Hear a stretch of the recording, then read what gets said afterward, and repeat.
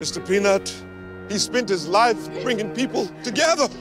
I know he'd be happy that we are all together now. yeah.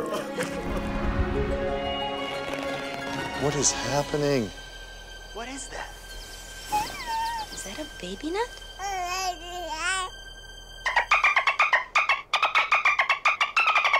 Just kidding. I'm back.